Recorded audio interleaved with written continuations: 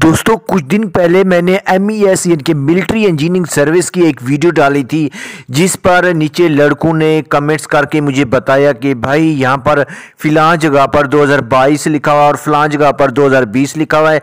सच्ची बता दूँ कि वो वाली जगह 2020 वाली मैंने नहीं देखी थी। तो दोस्तों, ये वीडियो मैंने रात 10 बजे डाली थी, फिर सुबह जब मैंने आप लोगों के कमेंट्स पढ़े, मुझे सारा कुछ पता चला तो फिर मैंने वो वीडियो उसी वक्त ही डिलीट कर दी सुबह सुबह यानी रात के 10 बजे डाली, फिर वो सुबह तकरीबन आठ बजे मैंने डिलीट कर दी। तो उसके बाद मैं छानबीन में लग गया कि एमईएस मिलिट्री इंजीनियरिंग सर्विस की असल जॉब्स कौन सी अगर ये वाली सारी फेक्स हैं तो असल जॉब्स कौन सी हैं? तो लड़के और भी हैं जो बार बार पूछ रहे थे कि भाई वो जो जॉब्स आई हुई हैं वहाँ पर 2022 तो लिखा हुआ है सात फरवरी 2022 लास्ट डेट है। फिर वो फेक कैसे हो सकती है सबको मैं यहाँ पर बताता चलूँ कि वो वाली असामियाँ अभी कन्फर्म नहीं है। मैंने पता किया है जहाँ तक मेरे सोर्स हैं उसका मैंने पता किया उन्होंने यही कहा है कि हमें इसका आ, कुछ मालूम नहीं या हम इसके बारे में कुछ भी नहीं कह सकते क्योंकि डेट मैंशन है। अब मज़ीद एक चीज़ बता दूँ अब लड़कों ने यहाँ पर एक काम और करना शुरू कर कर दिया है मुख्तलिफ़ यूट्यूब चैनल्स वालों ने भी।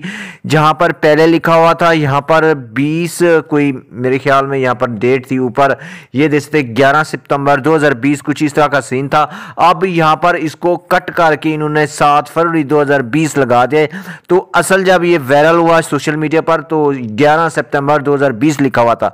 अब मजीद एक और पोस्ट वायरल हो रही है, यहाँ पर इस जगह को कट करके, यहाँ पर सात फरवरी 2020 लिखा हुआ है। तो फ़िलहाल आप लोग एम एम की इन जॉब पर फ़िलहाल वक्ती तौर पर यकीन ना करो। तो असल जॉब जो है ना, वो ये है, इनका मैं आप लोगों को बता देता हूँ। ये ये जारी हुआ तकरीबन 15 दिसंबर 2021 को, यानी कि दिसंबर के पंद्रहवें तारीख को ये जारी हुआ। और और यहाँ पर जो इस एन ओ सी है, यहाँ पर लिखा गया कि 709 असामियाँ मुश्तहर की जाएँगी, और ये जो असामियाँ होंगी, स्केल एक से स्केल पंद्रह तक होंगी। मतलब प्राइमरी से लेकर बी ए वाले उम्मीदवार अप्लाई कर सकेंगे।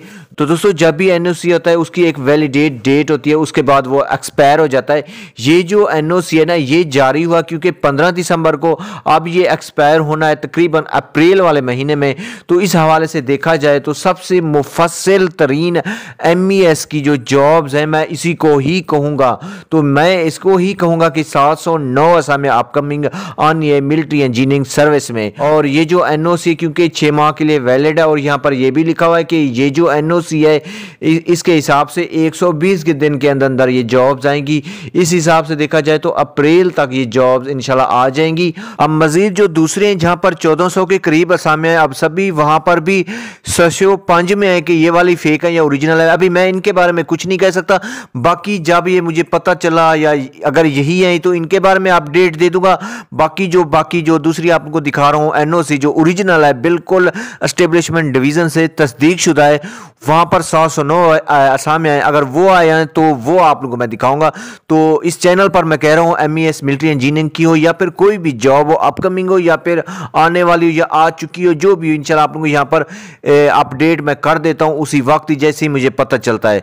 तो आप लोग बेफिक्र हैं एम मिलिट्री इंजीनियरिंग सर्विस के हवाले से, जैसे ही आएँगी, आप लोगों को यहाँ पर ही बता दूँगा। फ़िलहाल आप लोग यही समझो कि इन ये जो जॉब्स हैं, जो समझ ले कि ये फेक हैं, ठीक है? क्योंकि अभी इनका मुकम्मल कन्फर्म नहीं हुआ। बाकी मिलते हैं एक और जॉब अपडेट में, तब तक के लिए अल्लाह निगेबान